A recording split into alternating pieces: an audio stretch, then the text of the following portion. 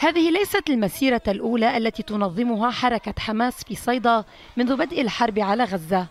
لكنها المسيرة الأولى التي أتت على وقع تخوف اللبنانيين وقلقهم من دعوة حماس شبان المخيمات للانضمام إلى طلائع المقاتلين في غزة. تطمينات حماس بأن عمل الطلائع غير عسكري لم يهدئ من روع اللبنانيين ولم يعكس حقيقة رغبة الشبان هنا. أنا مع الانضمام لطلائع طوفان الأقصى وانضميت إلين إن شاء الله. وإحنا في الطريق لتحرير أرضنا من الصهيون. لازم يفهموا إنه الالتحاق بهذا الشيء له مؤهلاته ومقوماته إن كان دينيا وإن كان تدريبيا.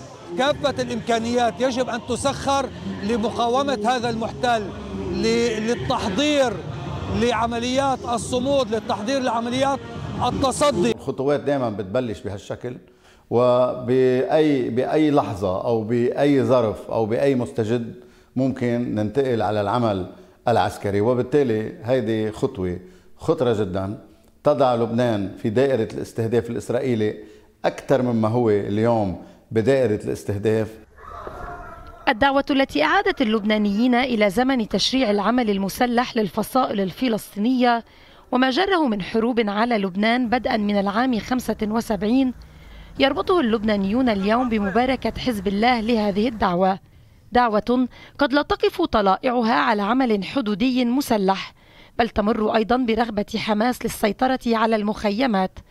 فشرارة معارك مخيم عين الحلو للاجئين الفلسطينيين جنوبي لبنان التي اشتعلت الصيف الماضي لم تنطفئ تبعاتها بعد لدى أهالي صيدا والمخيم. نحن لا نصدق ابدا أن حزب الله الذي يعمل فصيلا بأمر من الولي الفقيه في إيران يمكنه اليوم توظيف فصيل تحت إيده للعمل المسلح داخل منطقة الجنوب الليطاني وما يستثيره ذلك من ويلات علينا من دون ما يكون هو عنده علم بذلك. ولا سبب لذلك إلا امتلاك أوراق جديدة للتحايل على القانون الدولي ولإرباك الحكومة اللبنانية. يزيد انخراط حماس في معارك الجنوب من تخوف اللبنانيين من ثمن يدفعه لبنان بالحرب في حال سقط القرار 1701 بشكل كامل. غنوة يتيم العربية بيروت.